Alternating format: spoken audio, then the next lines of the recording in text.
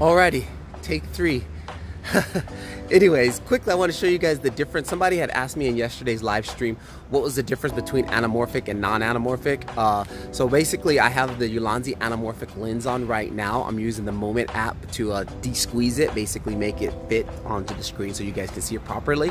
Uh, and I'm gonna quickly just grab some shots with it on and without. It's just a really, it's a creative choice. Again, I really like the anamorphic lens. Some of the like the Transformer movies or all use the anamorphic lens. Is basically like, they use it in cinema a lot. So quickly here, take a look at some of the differences with it and without it.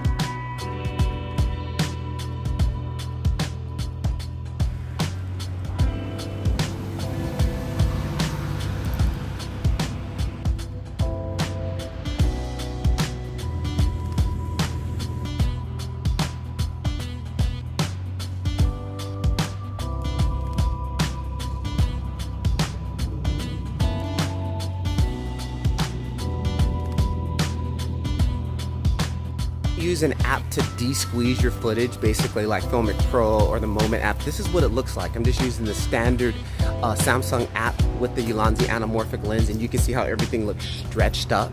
So if you don't have one of those two apps, you basically need to find a way to take the video and crunch it back down. So that's the difference between de-squeezing and right now it's unde-squeezed.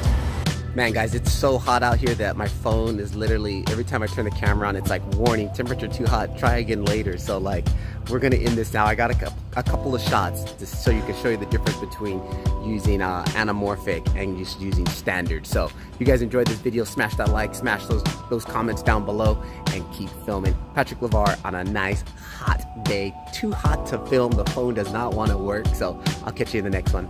Peace, see ya.